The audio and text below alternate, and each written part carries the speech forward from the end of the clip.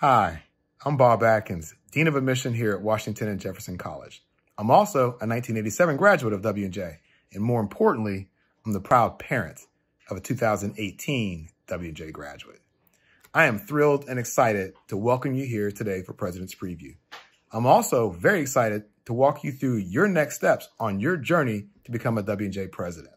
And welcome to Next Steps for Accepted Students here at Washington and Jefferson College. Congratulations, you've been accepted to W&J. You may wonder, what happens now?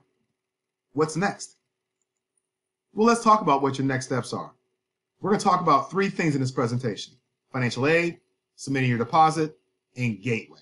What is Gateway, you may wonder? Don't worry, we're going to talk about that in just a second. Financial aid. I hope that you have submitted your FAFSA, your free application for federal student aid. If you've not done that, that you want to do it as soon as possible so that we can turn around and get you an aid offer as quickly as we possibly can.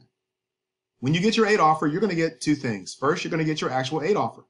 We'll list on your aid offer all the things that you qualified for financially. So on there will be listed your scholarships, grants, work study, and any loans that you might qualify for. That'll all be listed on your aid offer.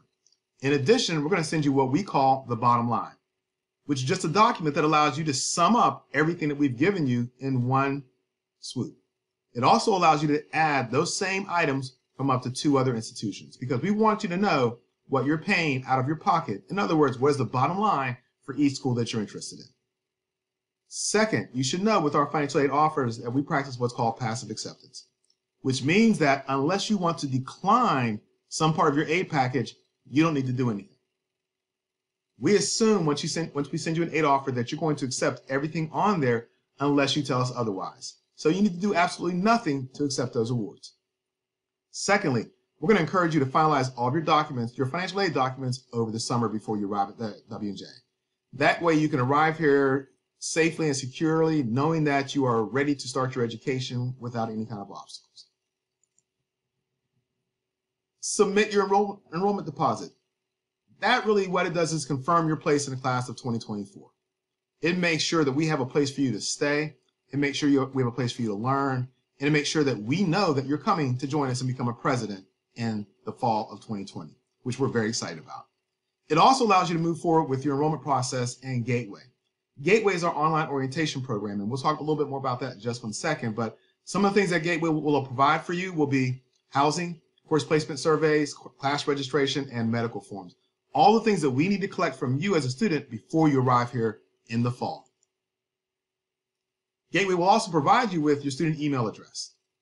It also gives you access to your course placement surveys. There are two of those, math and foreign languages, which are due by May 31st. You want to get that done so that the next piece, the course interest form, can be completed as well.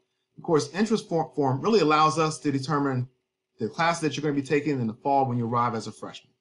So it's very important to get all three, all two of those things in uh, as quickly as you possibly can. Gateway also provides for you the Gateway form, which includes a number of different surveys that you need to complete again before you arrive at W&J so that we can place you with the room roommate so that we know what meal plan you're on, so, so that we know how to contact you or your parents should something happen at while you're at W&J or we need to inform them of something that's going on at W&J. We need your medical forms to know that you're arriving healthy and ready to learn. And finally, we need your student photo ID so that we can then create an ID for you. Your W&J ID will be, will be from that photo, so make sure it's a good one. Make sure you look good.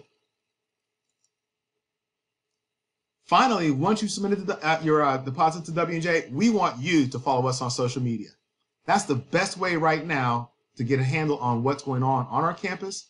Our president is on there fairly regularly, so he'll give you updates as well as other staff members.